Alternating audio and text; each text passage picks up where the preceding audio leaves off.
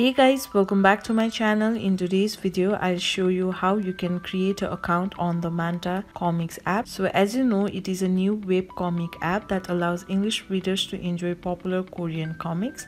Now let's get back to our video. First of all, you need to download the Manta Comics app either from your Play Store or App Store. As you can see, I've already downloaded the app. Now once downloaded, open it.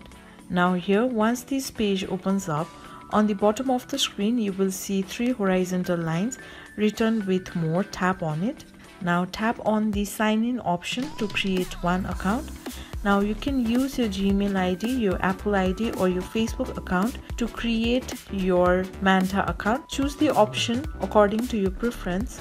So I'm just using my Gmail to create a Manta account.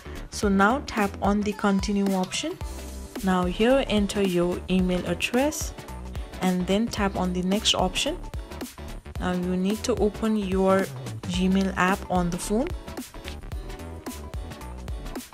So now my sign in has been approved.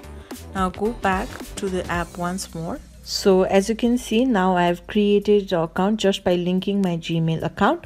So this much for today. I hope this video was helpful for you. If you like the video please give it a thumbs up and don't forget to subscribe and i will see you soon